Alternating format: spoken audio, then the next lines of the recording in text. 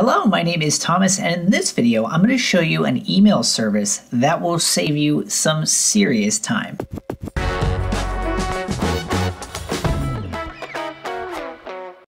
Okay, so raise your hand if you like email spam. I'm going to guess if the answer was yes to that question, you probably need a hobby. But in all seriousness, spam can be arguably one of the most frustrating things about email for a number of different reasons. First of all, we don't like to receive it, but second of all, it wastes so much of that precious time, and most of us, if not all of us, work to some degree in email. Obviously, we mostly use it in our personal lives, but we also use it a lot for work, particularly if you're a creator or a small business owner. There's a good chance that you're going to be using email a lot in order to run the more business aspects of the type of work that you do. The biggest challenge about spam and keeping your, your email organized, however, is that you really are at the mercy of really anybody who has your email address. And after some time, regardless of how careful you are with that email address, it's going to get on a list. And then that list is probably going to get sold to someone else, who then sells it to someone else, who then, and you get the idea. Until eventually, every single day, you're logging into your email account and you're finding that there is a ton of spam. Maybe you even reach the same point that I did several years back, where I had probably 80% spam and 20% messages that I actually actually wanted to receive. Now there are spam filters and some of them work pretty well. Some like Gmail have them built in. Some app mail apps also have them built in, but from my experience, those only work probably at their best around 50 to 60% of the time. Really bad repeat offenders will get caught in that spam folder or spam filter. However, it doesn't catch everything particularly for sites that maybe you sign up for but never opted into any sort of email correspondence and they start emailing you and maybe you click that unsubscribe link.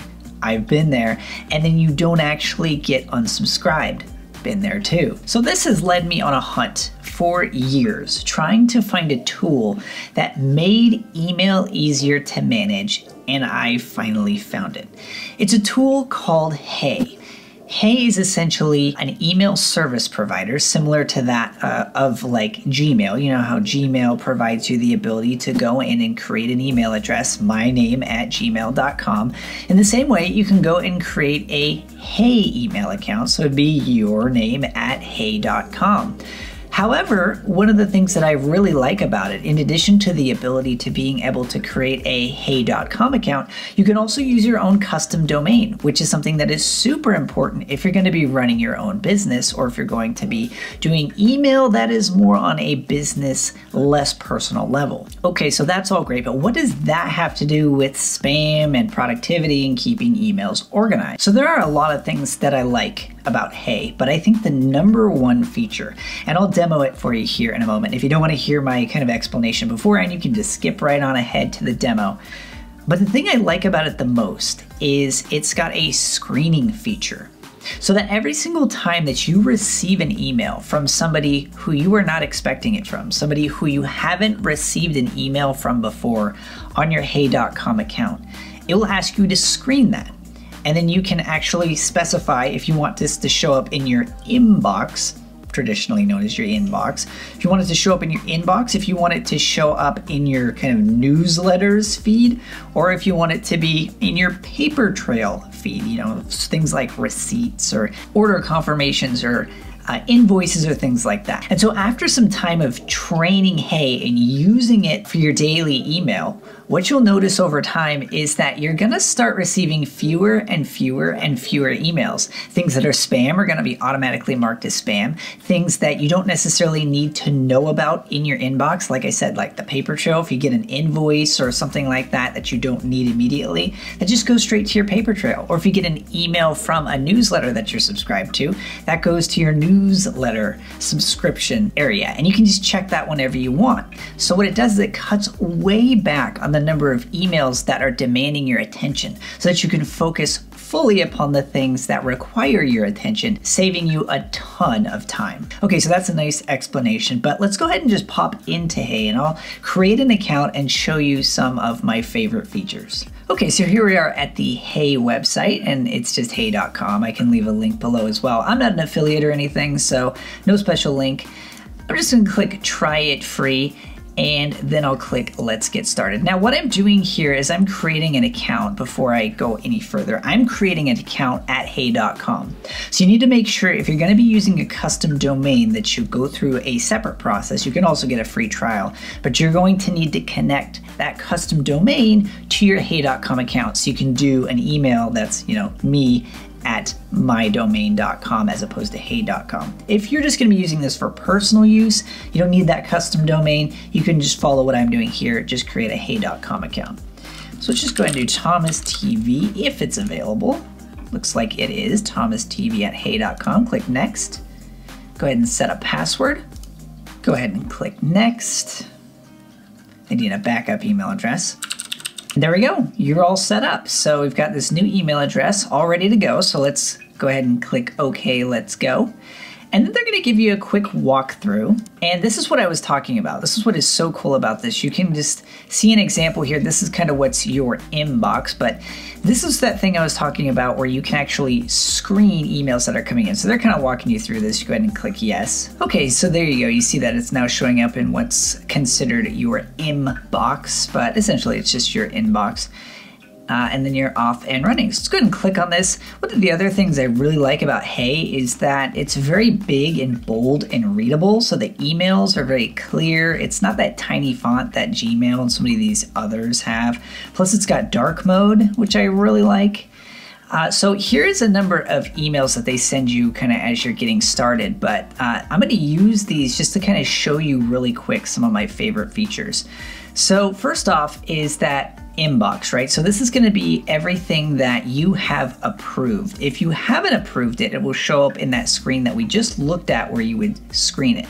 So that's one. Number two, what I like is that they've got so many of these features built in that enable you to kind of speed read through emails and just knock them out one after another. So that'll be this little button over here that allows you to read together. You click read together, you can go through, you can read it, uh, and you can just scroll through these emails and see them kind of uh, as a synopsis of each of these.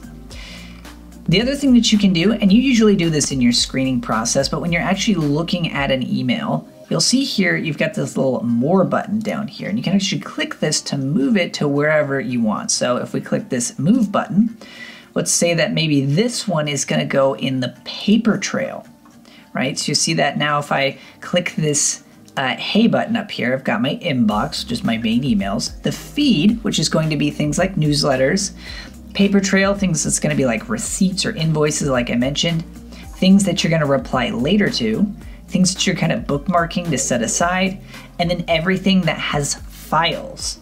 Uh, so this is super helpful. So if somebody's sending you uh, a file attachment and you're trying to hunt through tons of emails to find that file attachment, it's so cool because you can just click on that all files and it's going to show you only the emails that have file attachments. So you can kind of zoom through to find those files as you need them. The other thing that you can do is you can actually create these things called clips. So if there's a piece of an email that's super important that you're constantly finding yourself referring back to, maybe license key for software, or maybe it's some information that you need for a trip you're about ready to take, you can click save, uh, save clip, I should say, and then if you look at your clips, you can see just those little snippets and they show up in this nice, nice grid format so you can scroll through them and then you can delete them when you no longer need them. A lot of things that are just set up to make productivity a lot faster. The other thing I really like is you'll notice that there are these little numbers that show up in the top right hand corner and I use these all the time. And they just allow you to use your keyboard to navigate between these different views. So when I check hey, I just hit two real quick to see my newsletter feed, three real quick to see my paper trail, scan it, and I'm done. I don't have to worry about filing it. I don't have to worry about moving things around. I don't have to tag things that are invoices. I don't have to tag things that are newsletters. They're already sorted for me. I can just scan them and move on with my day. The other thing that's cool is you'll notice down here in the bottom left hand corner, you have the option to reply now, which would be obvious. You would just reply now, and you can reply later or set aside. What's really cool about the reply later feature is that what you can do is you can go through and maybe you're skimming through your email and you're finding those ones you're going to reply later and then maybe this one you want to set aside to reference for another time. But the cool thing that I really like about this is if you click that icon right there or you can click here and then click go to focus and reply you can just speed reply to these emails. You can just be like hi there bill and then you can send the email and then you can just keep scrolling, start writing, send email, keep scrolling, and you can just plow through emails that way. It makes it super simple. And then once you've done that, you can, uh, this will clear out those things you need to deal with. So everything is always organized where you need it. You've got those things that you need to reference in the place that you need to reference it. And you've got the things that you need to take action on in the places where you need to take action right here down below. And you see that they fan out very clean, very organized, and it just makes it also very nice to look at. And the fact that they're right here at the bottom in front of you, I think is also really handy because they're always kind of first, they're kind of front of mind. They're right there kind of telling you these need action. Same thing with this. I always like to make sure that if I set something aside, it's not necessarily something that's going to sit there forever. I don't want to have an endless list of bookmarked items. I want to make sure that I'm getting through these as quickly as possible. And then if you decide that you don't want to reply later, you can just go back into the email and uncheck that. So you can just open it, uncheck that, and then you'll see that they're gone. Same thing with this. Once I'm finished with it, maybe I can just uncheck that set aside and then everything is good. The other thing you'll notice is that there is this separation between things that are unread and read. So everything that is previously seen will show up down here below, and it's just an ongoing list, and everything that's unread still shows up up here. Now, if it, per, it may be that you want to kind of hide those. Maybe once you read something, you don't want to focus on it anymore. We have this little feature over here where you can actually pick a cover that will actually cover that up so that it, you don't have to worry about being distracted by it or going through and clicking on those things again. The idea is once you read something, typically you want to make sure that you take an action with that thing. So for a lot of people, just using the cover makes sense. And what I mean by that is that either you need to reply to it, either you need to to mark it as I'm going to reply later, or you're going to set it aside, or you're going to file it in one of those other places, like I want this to belong to newsletters, or I want this to belong in my paper trail. I typically just remove the cover. I, I usually just keep these here just so if for whatever reason I need to reference something, I can do that really simply. Now, one of the other features I really like is that you can also go in here and you can create your own labels. And so what I do, let's go ahead and label this. It's very important that I'm able to track my expenses. And so what I do is I create two different labels.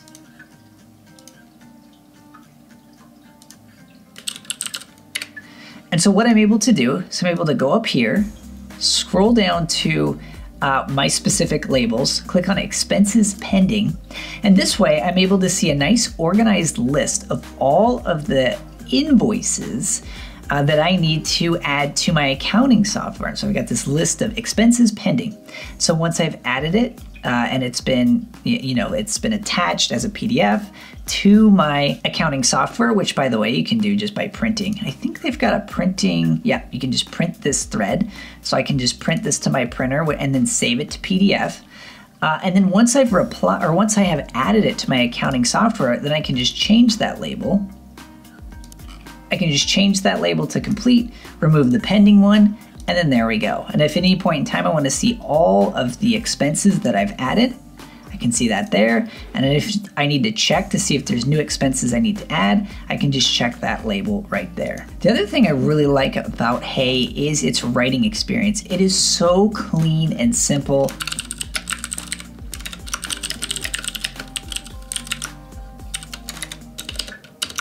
So many email providers, particularly Gmail, is very uh, notorious for this. It kind of shows up when you're writing an email in this little box that shows up in the bottom right hand corner, which makes no sense to me. If you want to be focusing on what you're writing, you want it to be big and bold and right there in the middle. That's one of the reasons I really like Hey. And then it shows your drafts up here if you want to easily view each of those and click between them. So if you're big on writing drafts and saving those and organizing them, then their writing experience is going to be uh, super useful for you. The last thing I wanted to show you, which is really cool, is you can actually go through here as you're starting to train Hey to show only the emails that you want. You can start to filter your emails in even more ways. So if there's specific contacts, so everybody who's been emailing you, you can go and see all the emails from particular people. They've also got a super powerful search feature as well, which will show individual contacts as well as emails that have showed up uh, from those people. But you can go through, and if you want to, you, of course, you can view sent. You can view all of the emails that have been screened out. So, one important thing that I forgot to mention early on is that during this screening process, you're able to mark something as spam, right? You're able to say that this is spam, I don't want to receive it anymore. But beyond that, even if it's not necessarily spam, you can click thumbs up that, that I want to receive this email either in my inbox or I want to receive it uh, in my newsletter feed or I want to receive it in the paper trail, right? So you're saying yes to this email, or you can give it a thumbs down. You can just click no, and you will no longer receive any emails from that email address. So as you're going through and training it, you're cutting down on that spam, which we talked about at the beginning of the video, up to the point where I very rarely I would say I probably receive one, maybe two pieces of spam email per week, if that, because Hey has been doing such a good job of over time being trained to filter out those emails. Okay, that being said, but you can still go through here and you can click to see what's being screened out. So you can see how much email you're not having to deal with. You can see uh, sent, spam, everything that's in the trash, and then you can see everything. So if you're ever wondering, maybe I was supposed to get a confirmation email and it never came through, you can just click everything and you're gonna see everything everything that's in the trash, everything that's sent, everything that's archived, everything, everything will show up there. Okay, that's it. I wasn't meaning for this to be a super long and detailed tutorial. Instead, what I wanted to is just kind of give you a behind the scenes look of some of the features that I've personally found the most useful about Hey. They've got a ton of video tutorials on their site and they've got some really helpful articles that kind of walk you through some of the tips and tricks. Actually, that's how I learned some of the tips and tricks that are particular to Hey. So I recommend you try it out. Like I said, I am not an affiliate. I receive zero commission for referring you to Hey. It's just been a super useful tool. And if it's at all useful, I want to share it with you as well. So as always, if you found this video useful, hit that like button. Subscribe if you're not already, and I look forward to seeing you in the next video.